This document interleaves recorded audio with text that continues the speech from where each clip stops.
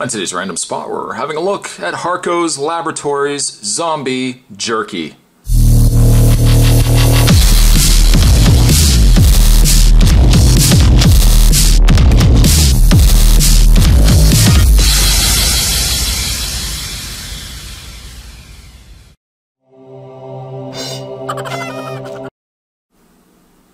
Three interesting points to note. One, it's teriyaki. Two, it's it's beef jerky. Three, it's delicious. It is not actually real zombie jerky.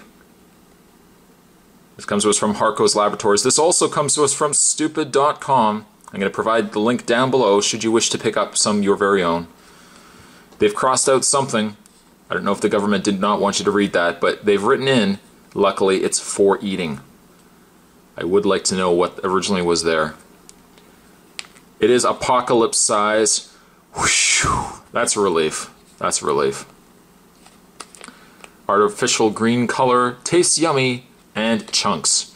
Oof, not something else we, we really want to draw attention to.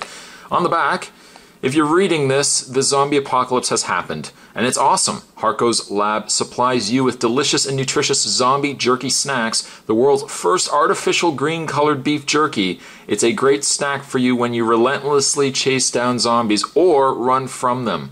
Now is the best time to enjoy the artificial snack of the apocalypse. Protein, 13 grams per serving, artificial green color, delicious, may not mean you're cannibal. Right there as well. Refrigerate after opening. Discard after 28 days. I think we're all right. It's sell by 0224 2013. Oh, and also dead meat chunks. Very crucial information.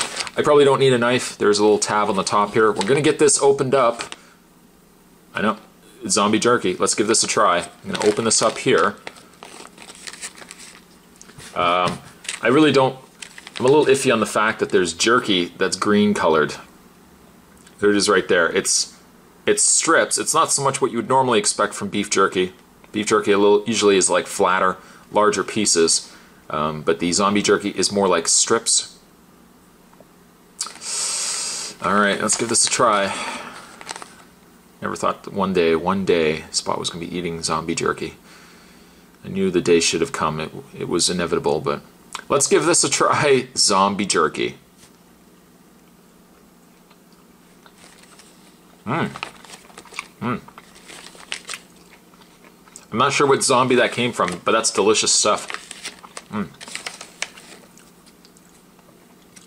Again, the problem with it being green too is if you're not careful, we can all joke about the fact it's green, but we would also maybe not know when it's gone bad. You might think, oh, green food, color food coloring, it's all right, you can eat it. Meanwhile, you're eating a whole bunch of mold. Luckily, I guess with beef jerky, it would probably smell a little funky if it's gone off, if it's a little off. Hmm. That is quite good, though. If you like zombies, you like beef jerky, you like both, then do yourself a favor, my friends. Zombie walk down below, click the link, and order yours from stupid.com. This stuff's quite delicious and makes for a fun novelty snack. Although out in a bowl, most people would probably say, uh, "Dude, that uh, uh, yeah, that yeah, that jerky over there doesn't look like it's good anymore." Oh no, no, it's fine. It's zombie jerky. Today's random spot, we're having a look at Harco Laboratories Zombie Jerky. It's delicious. Thanks for watching, guys.